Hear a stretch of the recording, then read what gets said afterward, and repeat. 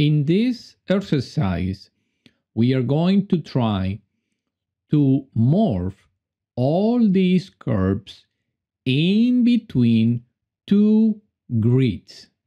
But I only have one at this moment. So let me show you under paneling tools a great component under grid utility. It is called coordinates. It's like exploding, decomposing a point. This is asking for the original surface. And after we get that, notice that we have the direction for the x, y, and z vector. So we are going to transform, move, and we are going to move what?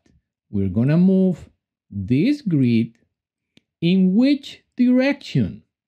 Vectors, vector, amplitude.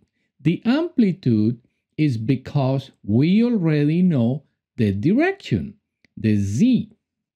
So this is the vector. How much? Well, 1.0 dot dot 5.0. We will see later how much we need to move it in that direction. So there we go. You can see that you have now the new grid.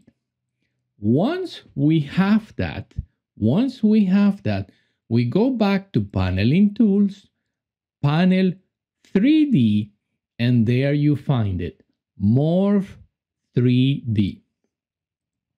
And this one is really easy to use. First is asking for the first grid. We have it. Let me move this one down here. The second grid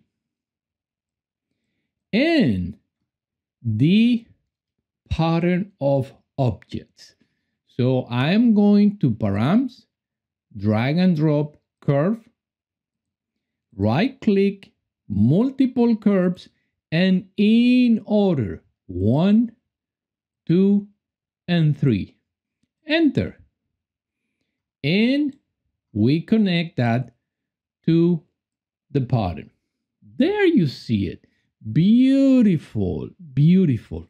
Let us let us analyze the output of this component.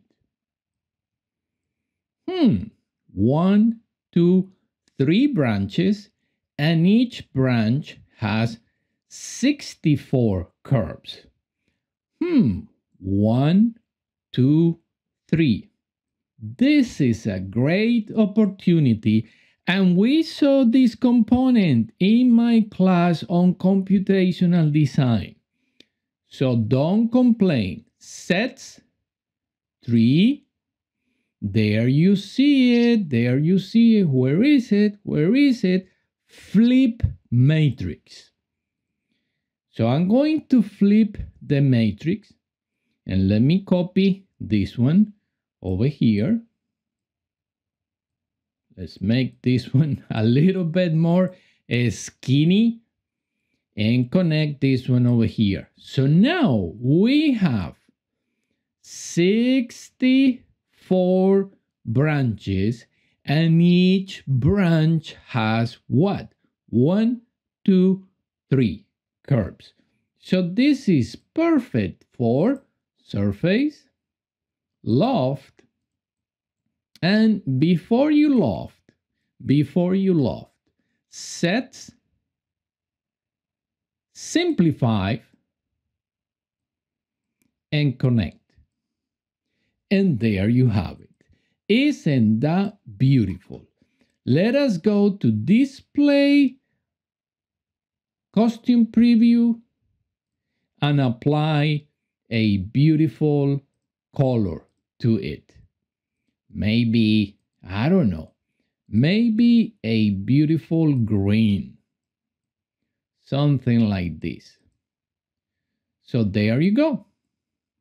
Now you have the morph in between all of them. But wait, wait, wait, don't go too fast. How about if we go to paneling tools, grid attractors, and random? Oh yes, we can select the original grid, click, click, let us make a numeric slider 1.00, set it to zero, and change, change this grid over here. And let's see, let's see what happens if we start moving this one around. Oh, look at that. Look how they dance. Isn't that beautiful? So there you go. There you go. Random attraction with the Morph 3D.